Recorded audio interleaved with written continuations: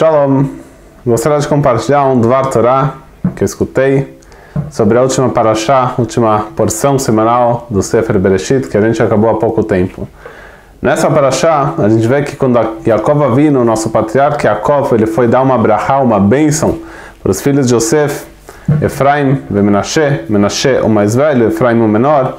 Quando Yosef leva os filhos para o seu pai, para eles pegarem uma brahá, para eles serem abençoados, ele coloca o filho mais velho de frente assim para o lado esquerdo do pai, para ficar do lado direito, e o menor do lado direito para ficar do lado esquerdo. Ou seja, quem está vindo de frente está ao contrário.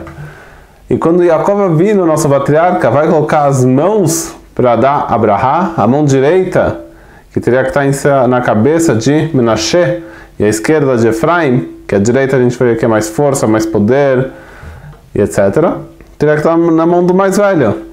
Porém, o que, que ele faz? Ele inverte as mãos. Ele põe a sua mão direita mais forte na mão de Efraim, que é o filho menor de Yosef, e a mão esquerda na, na mão de, na cabeça de Menashe.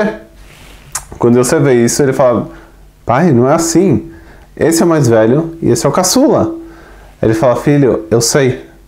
Porém, ele fala: O menor vai superar o maior em grandeza, em espiritualidade. E qual é a reação de Menashe?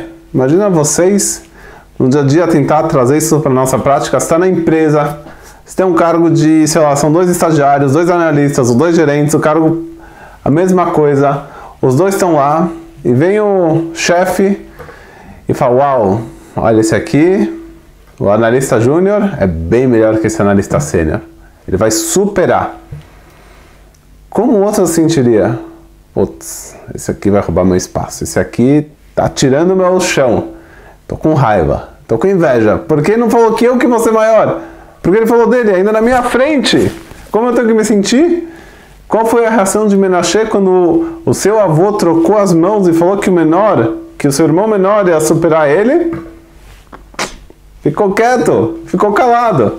Daqui a gente vê a grandeza de poder reconhecer o outro, não porque o outro vai ser maior ou não, tira meu espaço. Tem lugar para todo mundo e depende do nosso esforço. E quando a gente vê Abraha, a bênção de Jacob vindo, ele fala: Ismecha Elokim Kefraim o Menashe.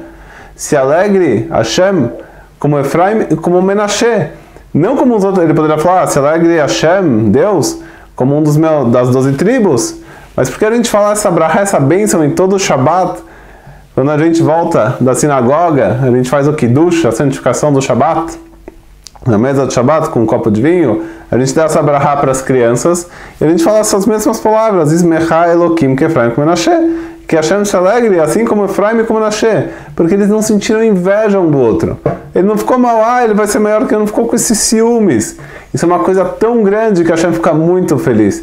E daqui a Kova vindo, nosso patriarca Yaakov deu essa brahá então, que Bezrat Hashem, a gente possa se desenvolver primeiro e se alguém superar a gente, qual o problema? Cada um tem a sua meta, tem lugar para todo mundo.